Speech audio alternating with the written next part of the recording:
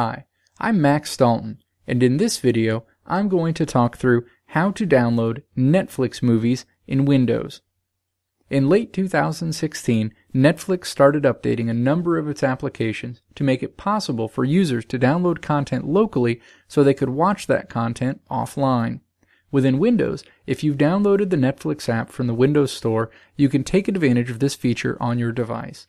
The feature is great if you're preparing for a business trip where you'll be flying or staying in areas where you don't have access to a wireless connection. Additionally, you can download content from Netflix for your kids to have available during family vacations. This video walks you through how to download content from Netflix, access that content, and also delete that content. And now, the steps to download Netflix movies in Windows. Step 1. Launch the Netflix app on your Windows computer. If you don't have the Netflix app installed on your device, you can download it from the Windows Store. Step 2. Click the menu icon in the upper left corner of the home screen. Step 3. Select Available for Download. The Available for Download screen appears, listing movies that are available for you to download to your Windows device. Step 4. Click the poster associated with the show or movie you want to download. The details for that show or movie will appear in the center of the screen. Step 5. Click the Download button located directly beneath a movie. Alternatively, if you select a TV show, you'll need to scroll down and then click the download icon associated with the show episode you want to download.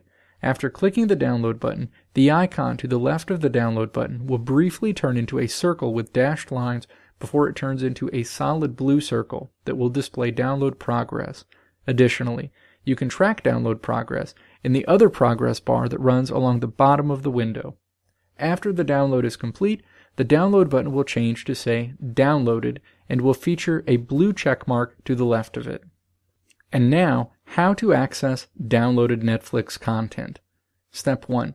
Click the menu icon in the upper left corner of the home screen.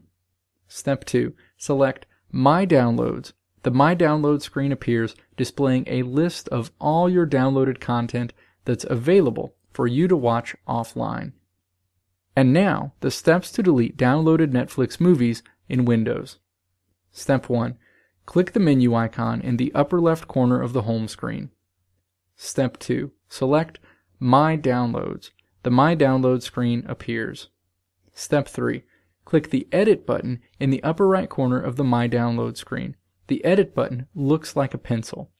A white checkbox appears in the upper right corner of each piece of content you've downloaded to your Windows computer.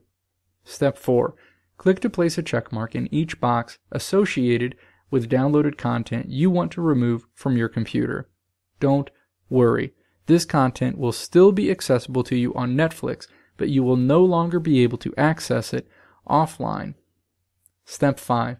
Click the delete icon in the upper right corner of the My Download screen after selecting all of the downloaded content you want to remove from your Windows computer the content you selected will automatically be removed from the My Download section, and as a result, it will be removed from your computer.